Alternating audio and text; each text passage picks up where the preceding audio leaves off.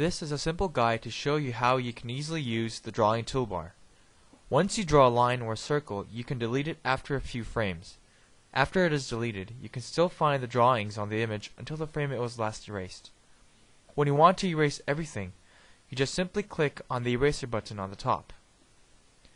When you want to find out the degree of an angle, you click this button. On the image, you click and drag, then the second click finishes the angle. One, one more time. Click, drag, let go, and click again.